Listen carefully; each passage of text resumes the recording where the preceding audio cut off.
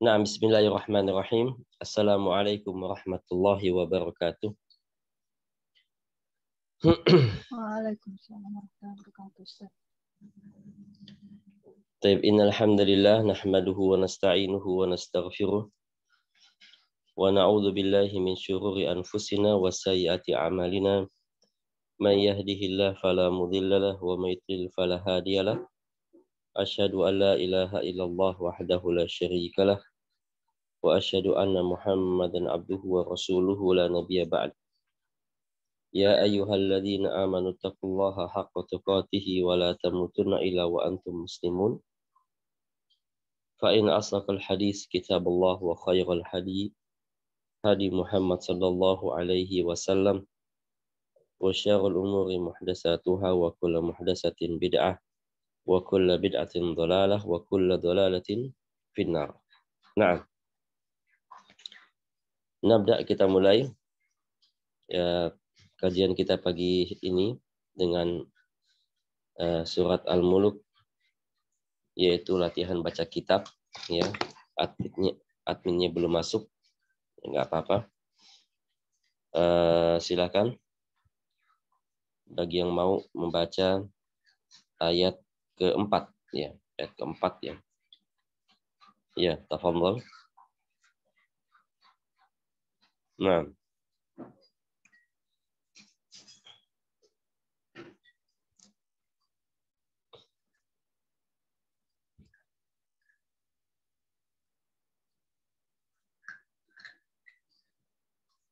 Iya. Ayat keempat dari surat Al-Qalam. Wa innaka la'ala khuluqin azim. Tafadhol, ada yang mau baca? Atau kepanjangan ya?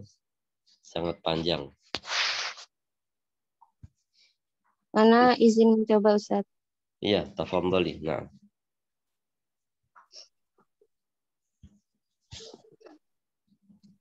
Bismillah, qala muallif rahimahullah wa lihadha qala wa innaka la'ala khuluqin azim. Ai aliyan bihi musta' musta'liyan bi khuluq, بخلوكك الذي من الله عليك به. وحاصل خلقه العظيم ما فسرته به أم المؤمنين عائشة رضي الله عنها لمن سألها عنه فقالت كان خلقه القرآن وذلك نحو قوله تعالى خذ العفو وأمر بالعرف وأعرض عن الجاهلين. فبما رحمة من الله لنت لهم. الآية لقد جاءكم رسول من أنفسكم عزيز عليه ما عنتم. الآية وما أشبه ذلك من الآيات الدالة دلاتي على اتصافه صلى الله عليه وسلم. bimakarimil akhlaq. Halas Ustaz.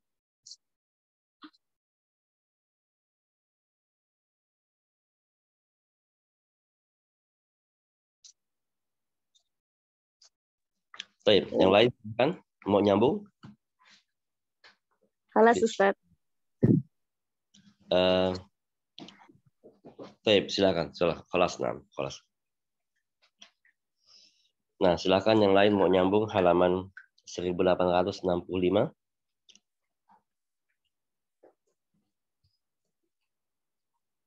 Ya, silakan tafadhol.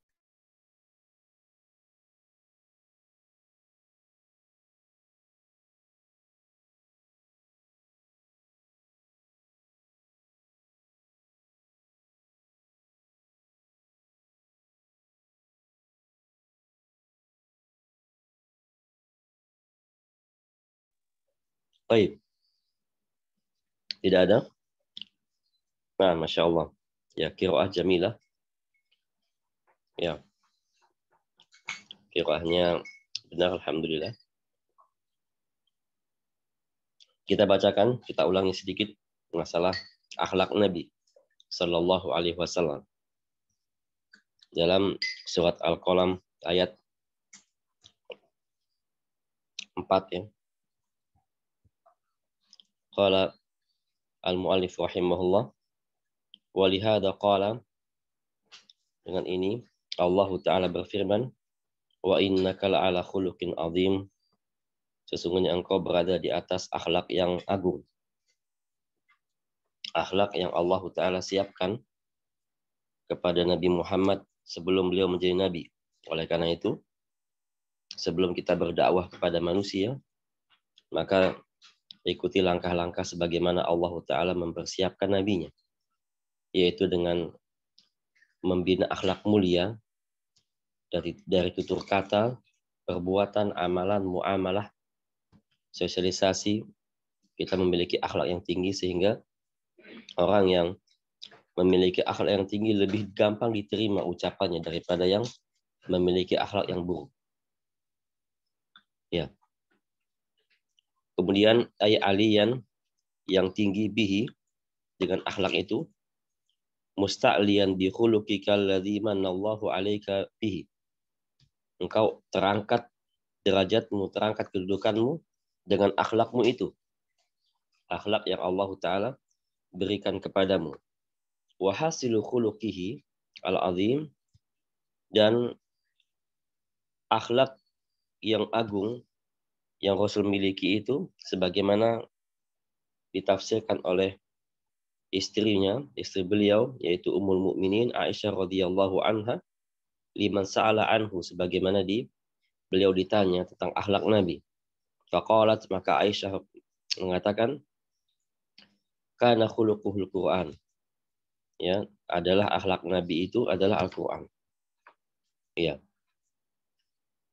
Sehingga ya kita wajib memiliki akhlak sebagaimana Al-Quran, yaitu Al-Quran eh, beribadah, Al-Quran menyuruh kita untuk beribadah kepada Allah, maka kita beribadah kepada Allah, menjauhi kesyirikan, maka kita menjauhi kesyirikan. Al-Quran menyuruh kita untuk itiba kepada Nabi, maka kita wajib itiba kepada Nabi. Al-Quran menyuruh kita untuk berbakti kepada kedua orang tua, berkata lembut, kasih sayang, memaafkan, saling membantu dalam ketakwaan dan kebenaran, menjauhi permusuhan, menjauhi gibah, namimah, segala macam, itu semua komplit dalam Al-Quran. Hanya saja kita tinggal mengikutinya. Nah. Wadaka nahwu qawlihi ta'ala, contohnya adalah pertama yang sudah kita bahas kemarin, khudil afwa. Ya, berilah pemaaf, berilah maaf kepada orang lain. Ini merupakan maaf itu adalah sifat yang paling baik. Sebagaimana Rasul katakan, khairu khairu akhlakil mu'min al-afu. Sebaik-baiknya akhlak mukmin itu adalah memberi maaf atau pemaaf. Dan itu sudah kita bahas ya. Maaf apakah kita berikan kepada orang atau tidak, kita lihat kondisi orang itu. Yang paling baik adalah kita berikan maaf kepada orang lain jika dia bersalah apalagi kalau dia minta maaf. Tetapi kalau dengan diberi maaf dia tidak berubah, malah semakin parah, maka tidak dimaafkan. Ya karena memberi maaf itu hukumnya sunnah, tidak wajib. Walaupun orang yang memintanya. Yang kedua, wa'mur bil urfi, perintahkanlah kepada kebenaran. Ya, ini merupakan adab ya. Adab kita kepada orang tua, perintahkan kepada orang tua itu kebenaran, sarankan akan kebenaran adab kita kepada kepada teman. Jika teman salah, kita beri nasihat, kita larang dari kemungkaran, kita nyuruh kepada ke kema'rufan, itu merupakan adab akhlak yang tinggi. Wa arid jahilin dan tinggalkan orang-orang yang jahil. Ya, bergaul hanya sekedarnya saja untuk memenuhi kewajiban, maka selebih itu hindari orang-orang yang tidak berilmu. Qala Allah Ta'ala fa bima rahmati min Allah lintalahum yaitu dengan rahmat yang Allah Ta'ala berikan kepadamu, engkau berbuat atau bersikap lembut kepada mereka. Lembut juga merupakan akhlak Nabi. Bersikap lembut ya pada saatnya, ada waktunya, bersikap keras ada waktunya. Ya kalau kita melihat akhlak Nabi itu lembut, bicaranya lembut, pandangannya lembut, sikapnya lembut, tapi kadang ada kerasnya. Terutama Rasul ketika keras itu ketika lagi perang atau lagi ber, berpidato ketika perang dan juga berpidato ketika khutbah Jumat. Seakan-akan beliau seperti ya memimpin atau memberi peringatan kepada orang yang yang sedang berperang. Kemudian laqad ja'akum rasulun min anfusikum azizun alaihi ma yaitu datang kepada kalian rasul dari bangsa kalian yaitu dari jenis manusia azizun alaihi ma'anittum ya yang mulia al ayah wa wa ma asbaha dzalika min al ayat adalah dan lain yang dan yang lainnya dari ayat-ayat yang menunjukkan bahwa ala itisafihi sallallahu alaihi wasallam di makarimil akhlak menunjukkan Rasul memiliki akhlak yang mulia. Akhlak dari Al-Qur'an. Karena setiap perkataan Nabi dan perbuatan Nabi itu adalah tafsirnya Al-Quran. Kita teruskan wal ayat al hasad ala kulli khuluqin ya jamilin dan banyak sekali ayat-ayat yang yang mengajak kaum muslimin agar berakhlak yang mulia, akhlak yang yang baik ya. Apakah dengan mengerjakan atau dengan meninggalkan? Karena akhlak itu bisa berupa mengerjakan sesuatu, bisa juga merupakan berupa meninggalkan sesuatu. Seperti meninggalkan kesyirikan itu akhlak kepada Allah Ta'ala. Meninggalkan bid'ah, itu juga akhlak kita kepada Nabi. Meninggalkan sesuatu yang dapat dimurkai orang tua, itu akhlak kepada orang tua seperti itu. Sehingga akhlak itu bukan hanya berbuat, tapi juga meninggalkan. Ya, berbuat kebaikan, meninggalkan keburukan itu akhlak sesuai dengan Al-Quran. Qala fakana lahu minha akmaluha wa ajalluha yaitu Rasul memiliki akhlak-akhlak yang tertulis dalam Al-Quran itu yang paling sempurna dan paling tinggi kedudukannya yaitu akhlak yang ada dalam Al-Quran. Wa huwa fi kulli khaslatin minha fi dzarwatil ulya yaitu Rasul dalam setiap perbuatannya itu itu ya memiliki akhlak yang sangat tinggi. Puncaknya akhlak adalah yang dimiliki oleh Rasulullah Shallallahu Alaihi Wasallam. Kenapa demikian? Karena Rasul berakhlak dengan Al-Quran. Ya, siapa pun orang berakhlak dengan dengan Al-Quran, maka dia memiliki akhlak yang paling tinggi, sebagaimana Rasulullah Shallallahu Alaihi Wasallam. Dan dijelaskan juga di sini, fakana sallallahu alaihi wasallam sahlan. Rasul sangat mudah, sangat memudahkan orang lain. Layinan, lembut, qariban dekat dengan manusia, akrab dengan manusia. Tidak suka menjauh, ya. Tidak suka menyendiri karena menyendiri itu merupakan akhlak yang yang tidak baik. Tapi dekat dengan manusia, bergaul dengan orang lain itu akhlak yang mulia mujiban lidakwatin lidakwati man da'ahu. Nah, sini kita sampai di sini kemarin. Mujiban lidakwati man da'ahu. Rasul selalu memenuhi panggilan orang yang memanggilnya. Atau Rasul selalu memenuhi ya uh, undangan orang yang mengundangnya. Ya, ini merupakan kewajiban. Sebagaimana Abu Hurairah mengatakan, "Man taraka da'wata faqad asam Rasulullah SAW. Ya, barang siapa yang meninggalkan dakwah tidak menjawab dakwah, maka dia telah bermaksiat kepada Rasulullah SAW. Itu perkataan Abu Hurairah radhiyallahu anhu. Kata beliau, ya, khayru uh, syarru ta'am ta'amul walimah ya yad'u ilayha hal aghniya wa yatruku an hal fuqara. Ya, seburuk-buruknya makanan hidangan itu adalah hidangan hidangan walimah pernikahan. Yang mana yang pernikahan itu hanya mengundang orang-orang kaya, tapi melupakan orang-orang miskin. Ya, itulah seburuk-buruknya undangan pernikahan. Ya.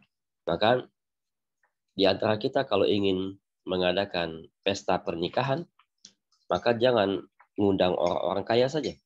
Ya, Jangan undang orang-orang yang punya harta saja. Tapi sisipkan sedikit, misalnya 10% dari semua undangan, orang fakir, orang miskin undang juga mereka, buat mereka juga bahagia dengan makanan hidangan yang ada. itulah sebaik-baiknya undangan, sebaik-baiknya hidangan. Tapi kebanyakan orang ya ketika mengadakan walimah acara pernikahan di gedung-gedung terutama di hotel yang yang mewah ya dia dia undang hanya orang-orang yang ber, berharta saja orang yang tidak punya harta nggak diundang karena apa omsetnya sedikit ya itu adalah itu adalah sebagaimana Abu Hurairah katakan syarut ta'am ta'amul walimah ya yud'a ilaihal arniya yutsakul fuqara yaitu mengajak orang-orang yang berharta saja dan meninggalkan orang-orang fakir ya kemudian beliau mengatakan wa man taraka ad-da'wata faqad Muhammad sallallahu alaihi wasallam. Barang siapa yang meninggalkan dakwah tidak menjawab undangan ya saudaranya semuslim, maka dia telah bermaksiat kepada Rasulullah sallallahu alaihi wasallam.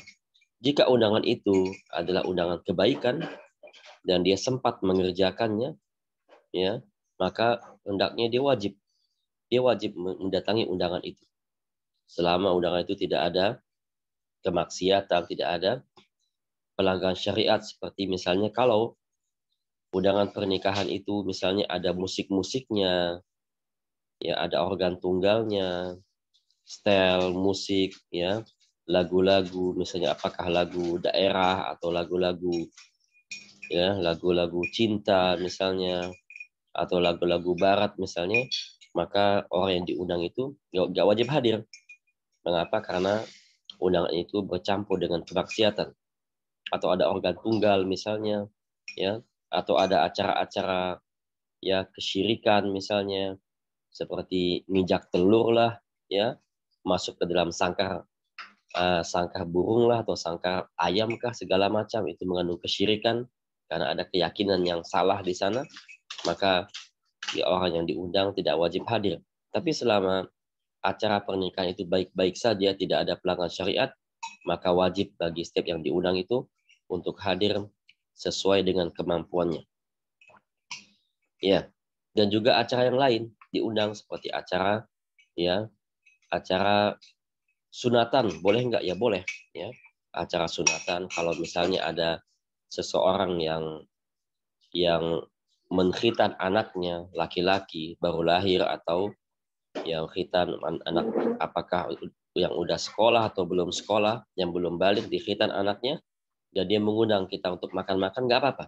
Ya, datang dan makan di sana untuk sekedar menghibur orang yang sakit, yaitu orang yang disunat, itu dia sakit, maka menghibur mereka dengan kedatangan, beri semangat, beri motivasi, dan ucapkan selamat ya atas kedewasaan.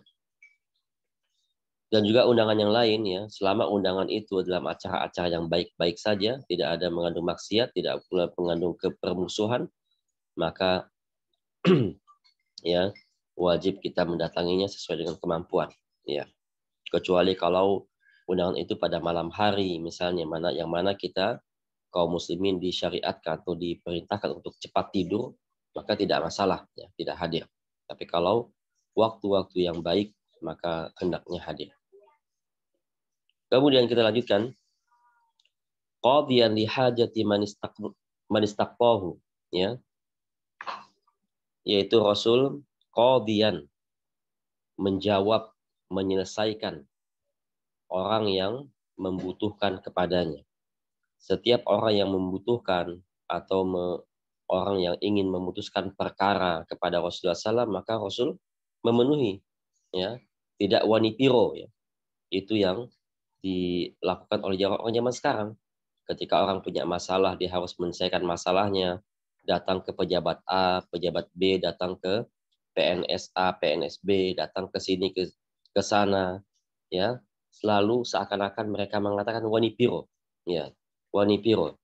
Bayar segini, jadi tiga hari. Bayar segini, jadi dua hari. Bayar segini, sehari jadi. Bayar segini, satu jam selesai. Nah, itulah ya akhlak yang buruk dari sebagian saudara kita kaum muslimin ketika dimintai pertolongan, ketika dimintai uh, suatu bantuan yang dapat menyelesaikan masalahnya, dibisnisin, pungli-pungli seperti itu. Itu haram hukumnya. Ya, itu haram pungli-pungli seperti itu. Kalau dia emang dia tugas sebagai pem, sebagai pegawai pemerintah yang melayani masyarakat lain dengan baik. Jangan ada pungli. Jangankan meminta, dikasih jangan nggak boleh. Ya. Tips-tips seperti itu haram hukumnya. Ya, apakah dia sebagai guru dapat tips dapat tips dari muridnya, apakah dia sebagai pegawai pemerintah dapat tips dari dari dari apa rakyatnya itu haram hukumnya, itu riswah namanya. Itu hadiah berbalut ya itu adalah riswah berbalut hadiah. Itu banyak sekali orang zaman sekarang. Ya, banyak sekali terutama ketika meminta izin kepada pegawai pemerintahan di Pemda minta izin buat jalan lah, minta izin buat ini, buat itu, buat ini, buat itu, ya selalu apa? Selalu minta tips. Ya semakin besar tipsnya, semakin cepat urusan selesai. Ya, itu semua haram hukumnya. Itu harta itu yang dimakan untuk dia dan keluarganya itu itu penyebab masuk api neraka. Ya, itu merupakan penyebab masuk api neraka. Oleh karena itu kita lihat orang-orang ya yang tidak paham dengan agama ketika dia berjabat menjabat suatu suatu jabatan maka ya dia akan bermaksiat kepada Allah karena banyak cobaan yang ada ya seperti anak punya sepupu ya dia orang Islam ya. dia subhanallah bisnis haram ya. Sudah kita ingatkan tapi masih tidak mau yaitu dia punya punya usaha judi online. Ya omsetnya 2 miliar se se sebulan. Ya ketika tanya untuk apa antum sebanyak itu uang sebulan? Dia bilang ya uh, kita ya saya tidak tidak apa tidak tidak dapat ya walaupun dapat eh, 2 miliar tetapi ya tidak bisa dipegang 2 miliar itu. Cuma dipegang sebulan 200 juta. Ya kenapa? Karena harus bayar pejabat ini, harus bayar orang ini, harus bayar ya keamanan ini, uang keamanan segala macam, ya dibayar semua karena dia kalau nggak bayar maka dia akan masuk penjara. Seperti itulah ya. Mereka karena didikan dari awal dari SD didikan buruk ya sehingga membuat dewasanya juga lebih buruk lagi. Ya, semakin tinggi jabatan, semakin tinggi eh, kekuasaan dimiliki, semakin tinggi pula nilai pungli yang dia hasilkan. Itu haram semua. Ya, tidak seperti Rasulullah SAW ketika ada orang yang membutuhkan untuk ya menyelesaikan masalahnya Rasul. Selesaikan masalahnya dengan baik tanpa ada pungutan biaya. Itulah yang paling baik ya. Membantu orang tidak ada pungutan biaya ya. Kecuali kalau butuh ongkos misalnya atau butuh yang butuh makan.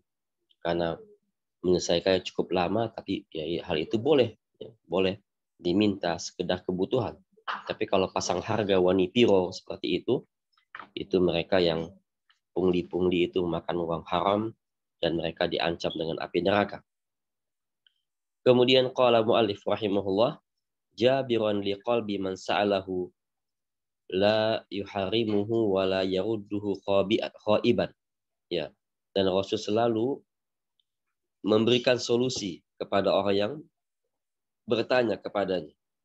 Setiap orang yang meminta Rasul kasih, setiap orang yang meminta solusi maka Rasul beri solusi kepadanya. Kalau Rasul nggak nggak tahu jawabannya maka Rasul diam. Rasul diam, tidak sembarangan jawab, menunggu wahyu dari Allah sehari, dua hari, tiga hari wahyu turun menjawab pertanyaan ya um, uh, umatnya itu, yaitulah Rasulullah SAW dan wala yuharimuhu wala yarudduhu khaiban dan Rasul tidak mau ya orang itu pulang dengan tangan kosong. Ya, pulang dengan tanpa apa-apa. Tapi Rasul selalu memberikan solusi.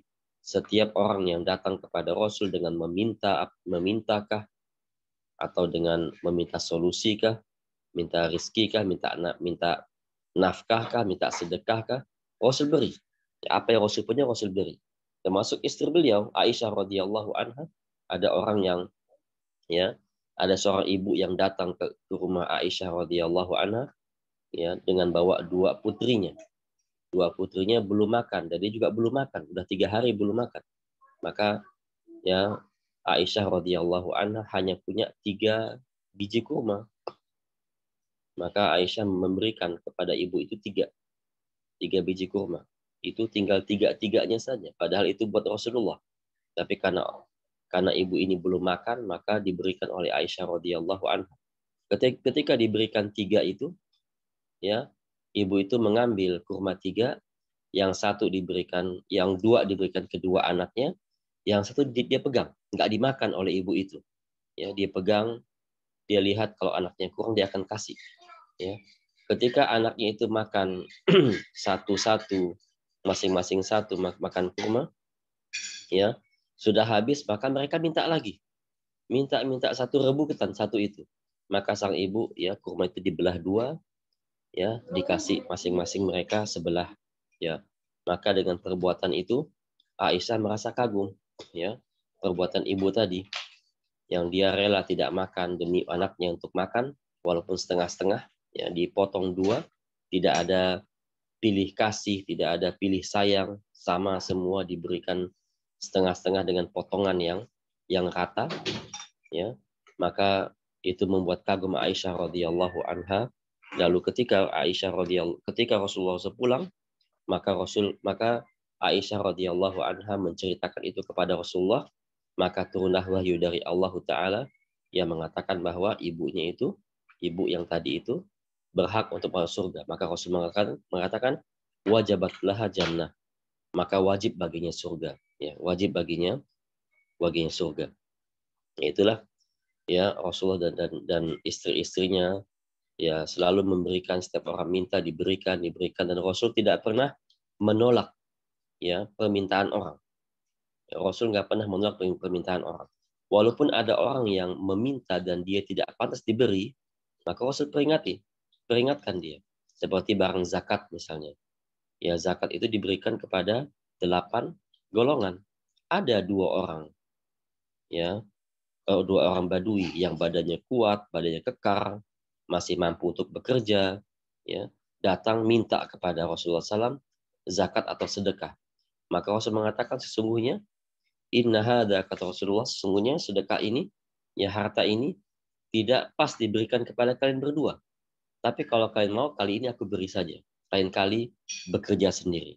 Ya. Walaupun ada orang yang tidak berhak untuk menerimanya, Rasul kasih. Kali ini saja.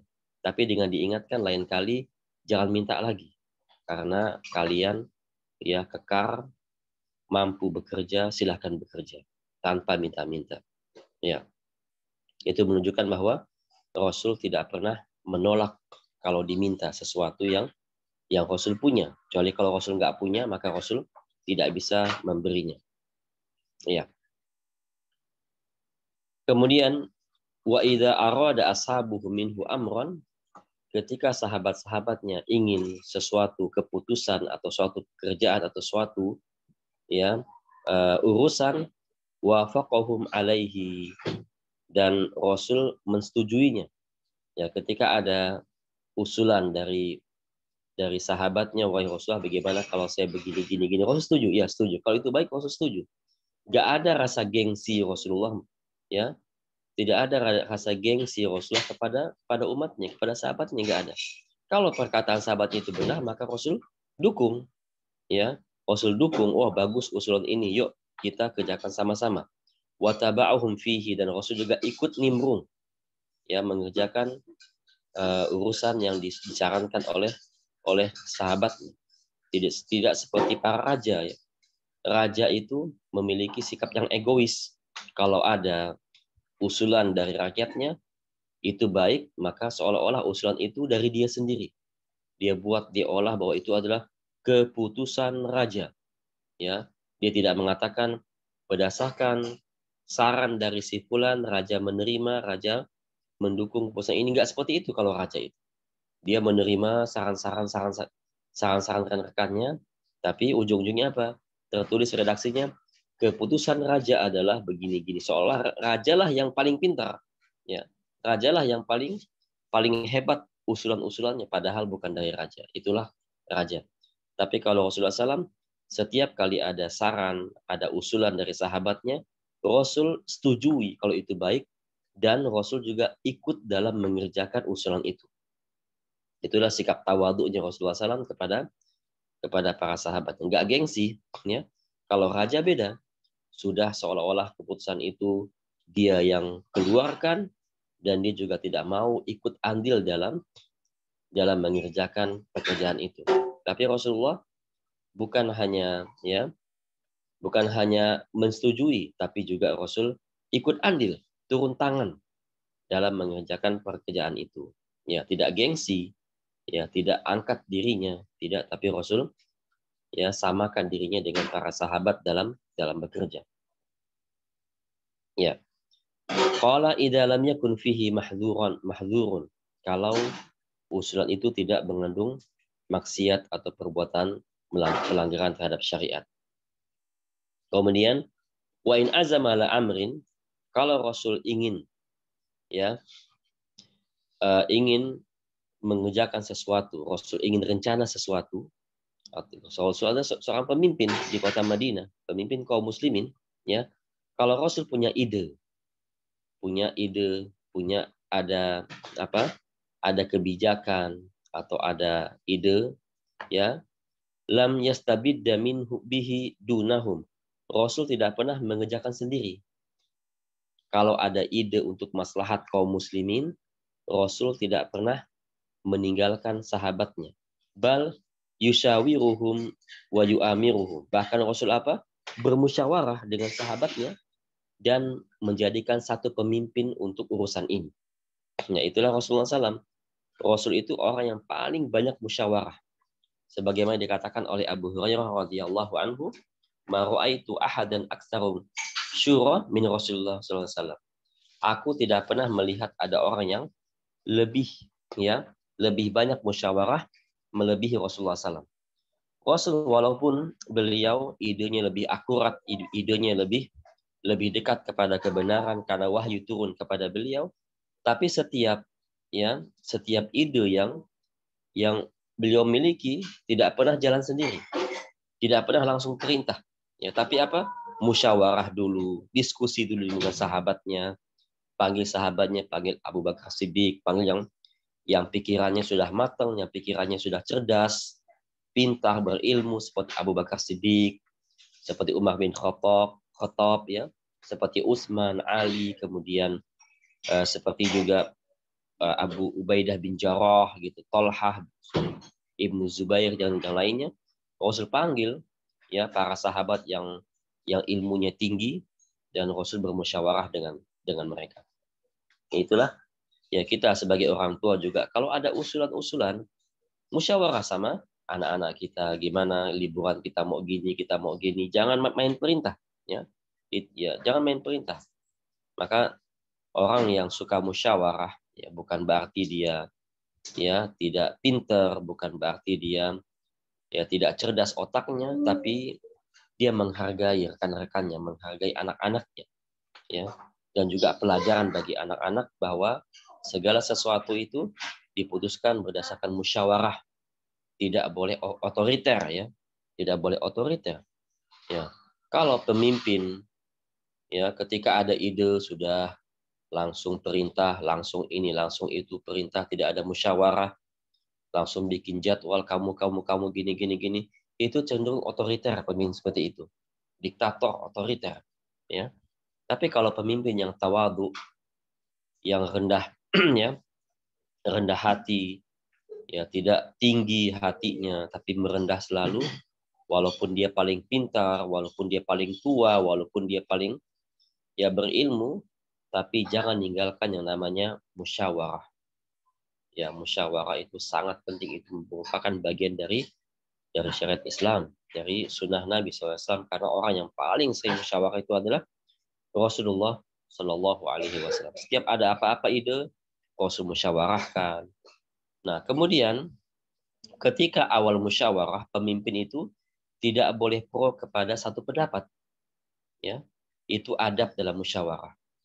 Ya, ketika pemimpin punya usulan, saya mau usulan begini. Gimana menurut A, menurut B, menurut C dikumpulkan teman-temannya.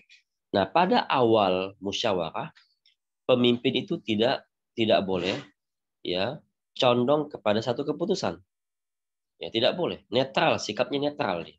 Nanti dia dengar pendapat A, temannya pendapat B, pendapat C, pendapat D, teman-temannya dia dengar, dia harus bersikap netral.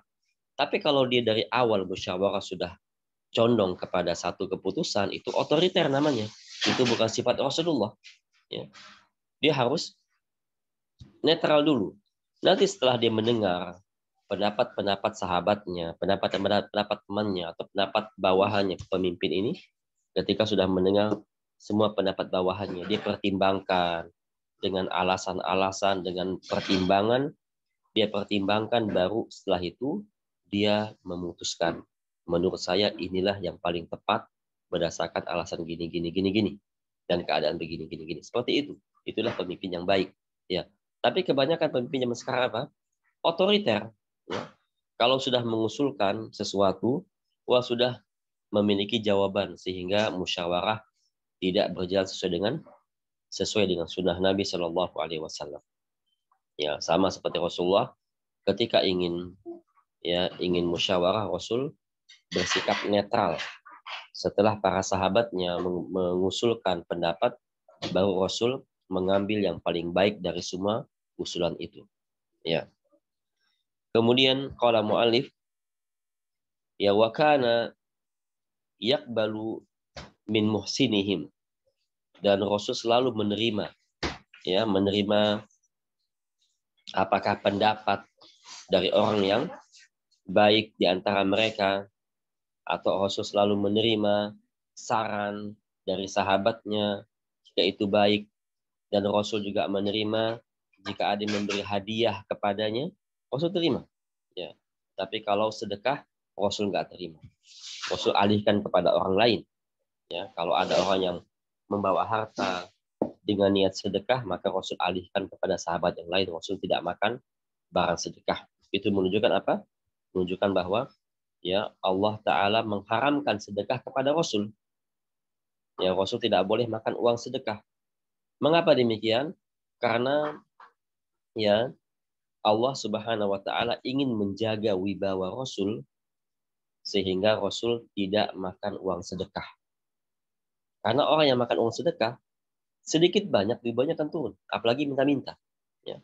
Orang yang memakan uang sedekah, ya orang yang suka tangannya di bawah terus minta minta minta minta berharap sedekah sedikit banyak ya harga dirinya akan turun apalagi sampai minta-minta apalagi sampai meminta-minta seperti itu ya tapi Rasul jangankan minta orang sedekah aja Rasul nggak makan. Itu ya itu tujuannya di antaranya adalah Allah Subhanahu Wa Taala ingin mengangkat derajat Rasul sehingga Rasul memiliki wibawa yang wibawa yang tinggi dengan tidak memakan sedekah sehingga gampang orang atau gampang dakwah Nabi diterima oleh masyarakat, diterima oleh para sahabat. Ya. Wa ya'fu an musiihim dan Rasul memaafkan setiap orang yang salah. Memaafkan. Adapun Rasul marah kepada Wahsy, siapa Wahsy itu? Yaitu Wahsy itu adalah orang yang telah membunuh Hamzah atas perintah Hindun, atas perintah Hindun istrinya Abu Sufyan ketika Hindun dan Abu Sufyan belum masuk Islam, ya eh, beliau Hindun itu perintahkan kepada Wahsy budaknya, dia mengatakan Wahsy, kalau kau perang Uhud ini bisa membunuh Hamzah, kau merdeka. Wah, dijanjikan merdeka. Maka Wahsi ini menerima tawaran Hindun ya dengan ketika perang Uhud mengintai-ngintai, mengendap-endap, mengincar Hamzah ya dengan sikap yang yang pengecut ya Hamzah apa eh, Wahsi ini dengan sikap yang pengecut ya tidak gentle, tidak jantan. Kenapa? Karena menyerang lawannya dari belakang. Ya. Dari belakang ngedap-ngedap dari belakang kemudian dilepaskan tombaknya kena ya bagian belakang uh, Hamzah radhiyallahu anhu wa. Ya, sikap yang tidak tidak gentle. Kalau orang menyerang dari belakang nggak gentle. Ya. Nah, ketika Wahsi masuk Islam, Rasul tidak melihat wajahnya. Bukan berarti Rasul benci kepada sahabatnya, bukan Rasul ya sentimen sama sahabatnya tidak. Tapi ya ketika Rasul melihat Wahsi, itu Rasul teringat pamannya yang paling beliau cintai, Hamzah radhiyallahu anhu, anhu ya, karena Rasul ketika ter, ter, teringat dengan Hamzah, maka Rasul pun sedih, terluka hatinya dengan kematian paman yang beliau cintai, maka Rasul tidak mau lihat Wahsi itu bukan karena benci sama Wahsi. Ya bukan karena sentimen dengan Wahsi, tapi karena apa? Karena gak mau terluka hatinya di atas kematian kematian Hamzah radhiyallahu anhu wa ardahu. Karena Rasul tidak pernah memiliki rasa benci kepada kaum muslimin, apalagi sahabatnya, dan Rasul juga tidak pernah bersikap sentimen kepada sahabat satu sahabatnya pun. Ya, adapun Rasul tidak mau melihat wahsi itu karena Rasul tidak mau mengenang masa-masa pahit terbunuhnya ya paman beliau ya Hamzah radhiyallahu anhu ardo. Ya, kemudian walam yakun yu'ashiru jalisan illa atamma asyratin ya wa ahsanaha. Dan tidaklah Rasul duduk bersama orang yang membutuhkan kepada beliau kecuali Rasul sempurnakan kebutuhannya. Jika ada orang yang ingin curhat, Rasul dengarkan dengan baik. Kasih solusi. Jika ada orang mau cerita, Rasul dengarkan dengan baik, nggak potong ucapannya. Ketika ada ada orang yang ya ingin kebutuhan bicara ngobrol sama Rasul, Rasul dengarkan baik-baik sampai dia selesai. Ya baru Rasul biarkan dia pergi atau Rasul meninggalkannya ketika sudah selesai urusan. Ya. Fakana la ya'basu fi. Rasul gak pernah masam wajahnya. Ya, kecuali dalam dalam satu riwayat ya, yang mana turun ayat Rasul eh, Allah taala berfirman abasa wa tawalla itu satu kali saja. Yang mana ketika Rasulullah SAW berdakwah kepada pembesar Quraisy datang uh, datang Abdullah bin Umi Maktum ya minta nasihat maka Rasul pun berpaling darinya dan Rasul bermuka masam. Yaitu Allah tegur ya maka Rasul tidak pernah mengulangi lagi perbuatan itu. Ya semenjak itu Rasul nggak pernah masam dengan dengan sahabatnya. Kalau Rasul marah marah. Tapi tidak pernah berwajah masam ya. Beda ya berwajah masam dengan marah itu beda.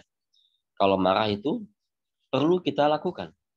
Kadang-kadang kita marah sama anak kadang-kadang kita marah sama istri misalnya jika berbuat berbuat yang tidak tidak layak tidak boleh dalam syariat boleh. Tapi jangan berbuka masam. Ya, karena muka masam itu nggak boleh.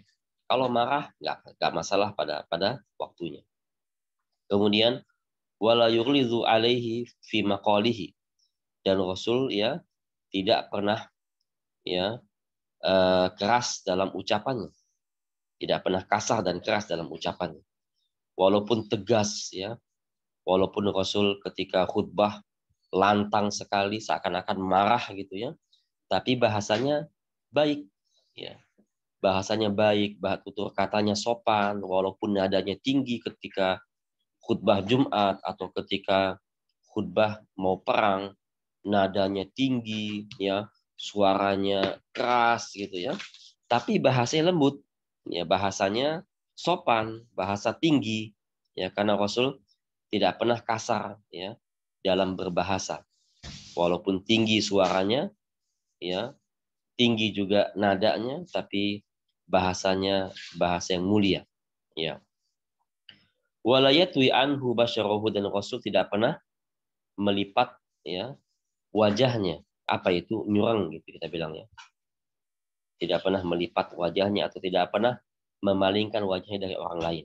Kecuali yang nggak boleh dilihat seperti laki-laki palingkan wajahnya dari wanita itu wajib ya. Tapi kalau laki-laki tidak boleh malingkan wajahnya dari dari saudaranya. Tatap dengan baik, sambut dengan baik, ya selama itu ada kebaikannya. Walayam walayam siku alaihi falatati lisanihi dan Rasul tidak pernah ya mempermasalahkan ada orang yang yang keceplosan ngomongnya, salah ngomong gitu ya. Rasul nggak pernah mempermasalahkan itu ya kalau orang keceplosan ngomongnya atau salah ngomong ya. Keliru ngomongnya ya nama juga orang keliru atau keceplosan ya mak di, dimaklumi. Tidak seperti orang zaman sekarang kita lihat YouTube YouTube ya. Dicari-cari kesalahannya para penceramah para dai dicari-cari kesalahannya. Yang nggak salah pun dipotong-potong videonya biar ber, berkata salah. Itulah ya akhlak yang buruk. Tapi Rasul jangankan hal itu. Orang yang salah ngomong saja itu Rasul maklumi Ya maklumi berdasarkan keilmuan seperti anak-anak yang salah ngomong, salah bahasa, salah menempatkan bahasa, Rasul nggak pernah ya eh, mempermasalahkan itu. Kita lihat kalau ada orang yang mempermasalahkan temannya salah ngomong, salah pilih kata, dipermasalahkan, yaitu orang-orang yang tidak berakhlak. Ya biasa orang suka ngeles atau suka cari menang kayak begitu. Tapi kalau dia mengetahui bahwa temannya itu ya keliru dalam pilih bahasa, ya Alhamdulillah. Ya, keliru dalam pilih bahasa atau keliru dalam dalam berucap, keceplosan, maka harus kita maklumi. Oh, itu kesalahan itu hal yang biasa sebagai manusia. Ya. Wala yu'akhid bima yasduru minhu min jafwatin. Dan Rasul tidak pernah menghukum seseorang ya ketika menerima perlakuan keras atau kasar dari orang lain. Ya, dari sahabatnya. Rasul nggak pernah ya membalas seseorang yang berkata kasar, yang berbuat kasar tidak pernah. Kecuali kalau ya sampai menyakiti kaum muslimin maka Rasul angkat senjata. Ya. Kemudian bal yuhsinu ilaihi ghayatul ihsan bahkan Rasul balas dengan kebaikan. Jika ada orang berkata kasar, ada orang yang yang berbuat kasar kepada Rasulullah maka Rasul berbuat baik kepadanya atau bersikap lembut kepadanya. Ya.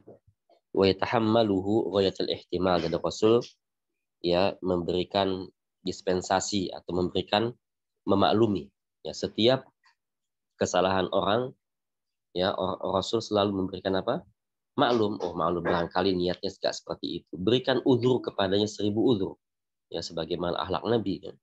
Ahlak Nabi ketika orang berbuat salah ya dan kesalahan itu hal yang biasa bukan besar kesalahannya maka Rasul selalu memberikan ulur bahkan seribu ulur kepadanya agar tidak dendam atau tidak benci atau tidak membalas dengan dengan keburukan. Ya berikan ulur kepada orang lain yaitu akan menenangkan hati dan tidak akan menimbulkan permusuhan di antara kaum muslimin. Ya. Itulah ya di antara akhlak yang Rasul miliki yaitu akhlak dari Al-Quran. Dan insya Allah jika ada waktu kita bahas lagi masalah ini ya. Sampai di sini pertemuan dan pembacaan tafsir pada hari ini. Dan jika ada pertanyaan disilakan wallahu alam. Nah silakan. Al-akaf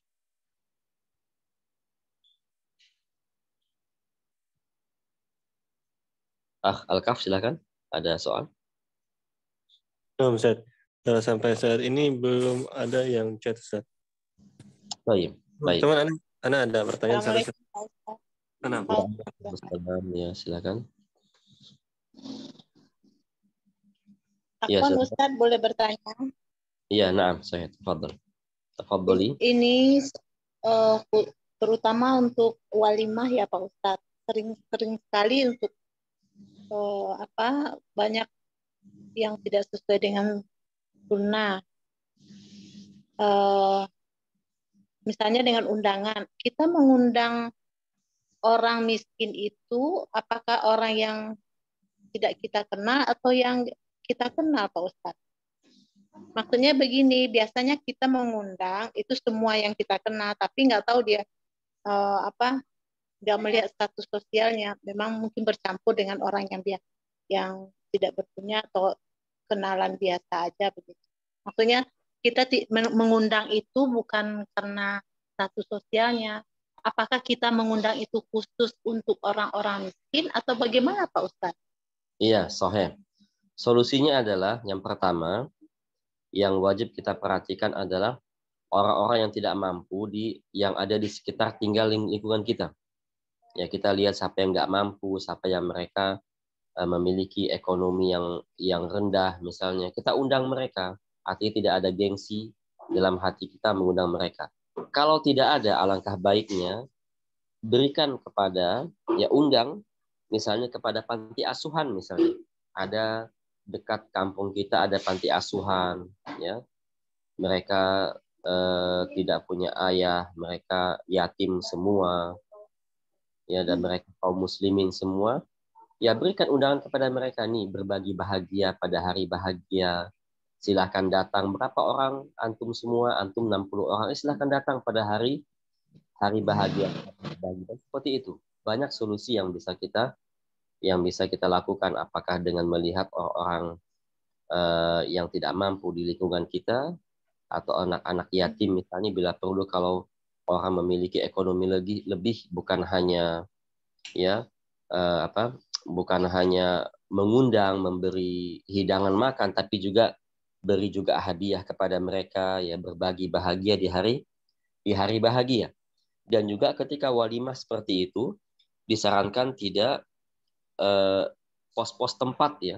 Ini pos tempat buat orang yang hartanya banyak ini buat keluarga ini buat ini buat itu ini buat besan. Tidak perlu seperti itu.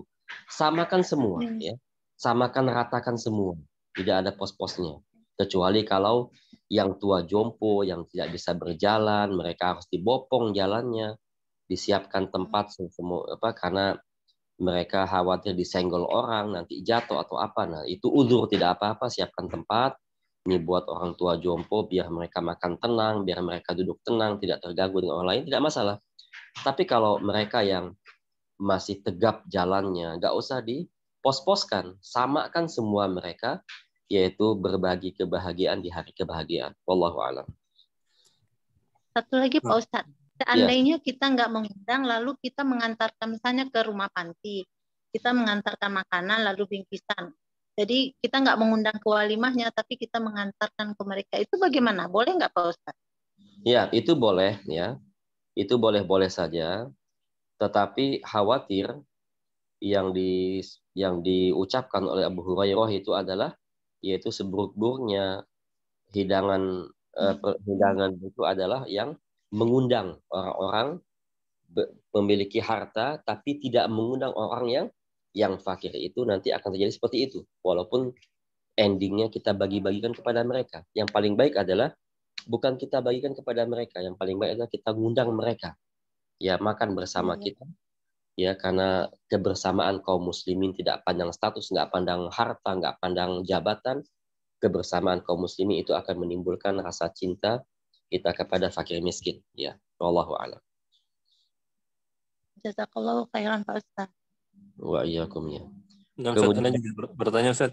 Ya, uh, dalam hal walimah ini di Indonesia sudah seperti adat ya, ada uh, adat kebiasaan bahwa ketika ada yang mengundang dan kita datang kita seakan-akan harus apa memberikan inilah hadiah atau amplop lah gitu dan itu juga seperti apa eh, ada yang sampai seperti kewajiban bahwa nanti dicatat dan harus dibalikan lagi gitu ke apabila nanti diundang oleh orang lain gitu kan jadi seperti utang mengutang gitu Ustaz. Nah, itu bagaimana Ustaz? Iya. Um, Baik. Dalam mengadakan walimah itu wajib hukumnya, sebagaimana Rasul katakan, aulimu walau bisyah. Jalankanlah atau laksanakanlah walimah walaupun dengan satu kambing saja. Undang teman-teman tetangga walaupun dengan motong satu kambing saja. Itu kewajiban. Ya. Karena walimah itu untuk mengumumkan kepada masyarakat bahwa anak saya sudah menikah, kalau dia jalan berdua dengan istrinya, itu sudah halal. gitu ya Biar tidak ada kecurigaan di masyarakat. Ya, maka kewajiban itu adalah mengundang. Tetapi ya pengundang atau tuan rumah pemilik hajat ini tidak boleh mewajibkan orang datang untuk memberi sesuatu. Kalau dia mau beri silahkan, kalau enggak juga enggak apa-apa. Jangan diwajibkan. Jangan ada aturan ya berilah nanti kan nanti saya akan beri lagi timbal balik itu enggak boleh. Rasul mengatakan ya Allah taala mengatakan wala tamnun tastakthir. Janganlah memberi sesuatu nanti mengharap timbal balik lagi. Itu nggak boleh. Ya. Dalam aturan-aturan seperti ini terutama yang kita lihat di daerah-daerah ya apakah daerah Subang atau daerah Kerawang misalnya mereka punya ada seperti itu yang mana jika ada tetangga si A eh, anaknya menikah maka tetangganya berbagi. Nanti akan ada timbal baliknya lagi itu sudah uruf antara mereka itu ya tidak boleh kita lakukan. Karena tuan rumah tidak boleh mewajibkan ya. Tidak boleh mewajibkan uh, seseorang pun untuk ber, untuk berbagi atau membantu atau memberikan sesuatu kepada tuan rumah. Itu nggak boleh ya. Dan juga bagi yang diundang ya sebaiknya itu memberi hadiah sebaiknya. Ya bagi yang diundang datang dalam pernikahan itu sebaiknya adalah dia memberikan hadiah kepada pengantin ya. Nah niat pemberian hadiah itu biasanya biasanya uh, undangan atau penghadir undangan itu, tamu undangan itu biasanya memberikan hadiah kepada pengantin, bukan kepada mertuanya. Nah, ini mertua harus tahu juga, ya. Karena niat tamu undangan itu ketika memberikan apakah memberikan uang tunai berupa amplop atau memberikan uh, hadiah berupa apa berupa barang, souvenir atau barang-barang yang dibutuhkan dalam rumah tangga, maka niat tamu undangan itu memberikan kepada pengantin. Nah, dalam hal ini ya mertua ya tidak boleh mengambil sedikit pun nggak boleh mengambil kecuali kalau hadiah itu diberikan kepada anaknya maka orang tua boleh mengambilnya. Tapi kalau hadiah itu diberikan kepada menantunya, mertua nggak boleh mengambil. Ya, walaupun ada yang mengatakan bahwa lah ini kan sebagai ganti walimah ya tidak boleh ya seperti itu ya karena uh, orang tua tidak ada kesepakatan antara dia dengan dengan menantunya bahwa nanti kalau hadiah milik bapak ya bapak kan sudah sudah memberikan apa memberikan dana yang besar untuk acara walimah ini sebagai gantinya. Kalau ada sepakatan seperti itu silahkan. Tapi kalau nggak ada sepakatan, nggak boleh ya itu uh, mengambil harta haram, harta yang yang bukan haknya. Ya itulah ya yang yang terjadi di masyarakat. Sehingga tuan rumah tidak boleh mengharuskan tamu uh, untuk memberinya. Ya wallahu alam. Kemudian ada pertanyaan di sini fenomena sekarang banyak yayasan lembaga yang bermudah-mudahan membuka donasi apakah itu termasuk meminta-minta dan bagaimana seharusnya? Ya. Uh, apa? Dalam masalah ini ya membuka donasi itu tidak baik, tidak baik. Karena para sahabat itu nggak pernah seperti itu. Nabi ketika ada membutuhkan, Nabi menyarankan sahabat untuk bersedekah. Ya, menyarankan sahabat untuk bersedekah, untuk membayar zakat ya, atau sedekah-sedekah donasi kepada yang yang membutuhkan. Tapi Rasul tidak menadahkan itu. Ya, artinya para dai atau pemilik apa atau eh, pengurus masjid Beri nasihat kepada masyarakat. Beri nasihat apa? Banyak sedekah, banyak, tapi tidak menadahi hal itu. Ya, sebaiknya tidak dilakukan seperti ini. Ini akan menimbulkan apa? Akan menimbulkan atau berefek nanti akan merendahkan Islam. Ya, mereka dengan majang donasi masjid ini ya atas namakan masjid kemudian mereka meminta-minta untuk masjid maka itu mereka akan merendahkan agama Islam itu nggak boleh seperti itu. Ya. Allah alam. Ya, cukup ya, insya Allah ya. Insya Allah kita akan uh, sambung lagi di pertemuan akan datang, insya Allah taala. Ya, kita tutup. Uh, Subhanakallahumma wa bihamdika asyhadu alla ilaha illa anta astaghfiruka wa atubu ilaik. Assalamualaikum warahmatullahi wabarakatuh. Waalaikumsalam warahmatullahi wabarakatuh. Jazakumullah khairan. Wa Alhamdulillah telah selesai. Insyaallah dilanjutkan di Selasa depan. Barakallahu fikum pada seluruh peserta. Assalamualaikum warahmatullahi wabarakatuh. Waalaikumsalam warahmatullahi wabarakatuh. Jazakallah khair, Pak Ustaz dan